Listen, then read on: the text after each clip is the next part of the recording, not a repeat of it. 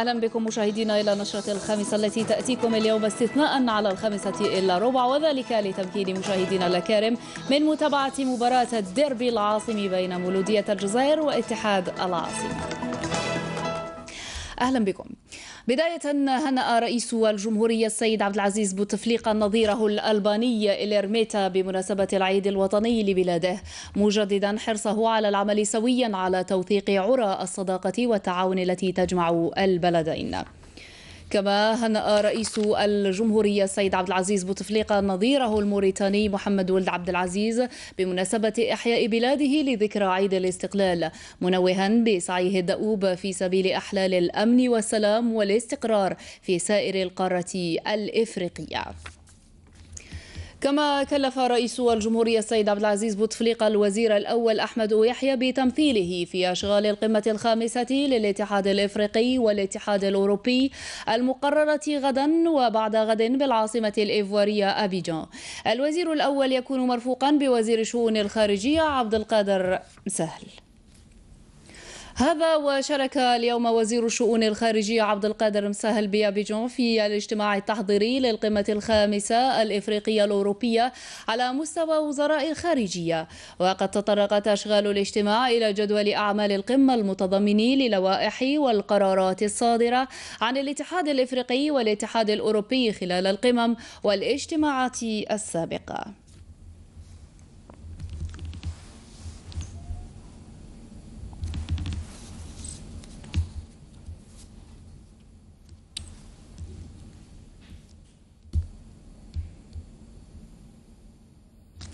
استقبل اليوم الوزير الأول أحمد يحيى وزير البناء الفيتنامي فان هونغ الذي يقوم بزيارة إلى الجزائر. اللقاء حضره وزير الصناعة والمناجم يوسف يوسفي.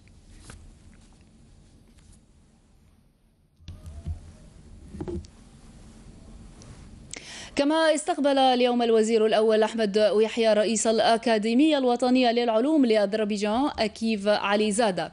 اللقاء حضره وزير التعليم العالي والبحث العلمي طاهر حجار.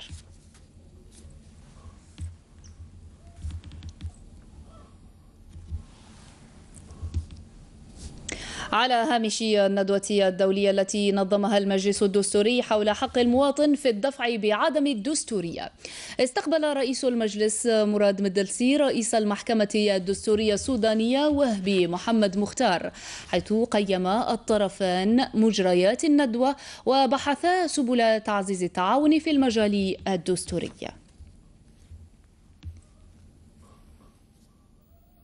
أشرف اليوم بالنادي الوطني للجيش نائب وزير الدفاع الوطني رئيس أركان الجيش الوطني الشعبي الفريق أحمد جيد صالح أشرف على افتتاح يوم دراسي تحت عنوان الاتصال العملياتي في الجيش الوطني الشعبي من تنظيم مديرية الإيصال والإعلام والتوجيه وذلك بحضور ضباط ألوية وعمداء وإطارات من الجيش الوطني الشعبي وضباط الإيصال والإعلام والتوجيه بمختلف مختلف النواحي العسكرية بهياكل ومدارس الجيش الوطني الشعبي. الفريق أحمد قيد صالح وفي كلمة في كلمته التوجيهية أكد الاهتمام الذي يوليه الجيش الوطني الشعبي لموضوع الاتصال العملياتي داعيا إلى العمل على رفع التحديات من خلال تسطير استراتيجية أعلام واتصال فعالة تسهم في بناء منظومة دفاعية وطنية متكاملة ليخلص إلى التأكيد أن الاتصال العملياتي جزء من الاستراتيجية الدفاعية المبنية على استشراف الأحداث وتطوير طرق العمل الكفيلة بمعالجة كل الإشكاليات التي يفرضها الوضع. هذا وتم عرض شريط وثائقي حول الموضوع وتنظيم ورشات تطبيقية في مجال الإعلام والاتصال تحاكي الواقع أثناء التمارين والمناورات العسكرية بهدف صقل معارف وخبرات الإطارات الجيش الوطني الشعبي وبالخصوص ضباط الإيصال والإعلام والتوجيه عبر مختلف هياكل وتشكيلات الجيش الوطني الشعبي. وقعت اليوم اتفاقية تمويل بين القرض الشعبي الجزائري ووكالة عدل والصندوق الوطني للسكن بغلاف مالي قدره 330 مليار دينار وذلك بحضور وزيري السكن والعمران والمدينة عبد الوحيد تمار ووزير المالية عبد الرحمن راوية.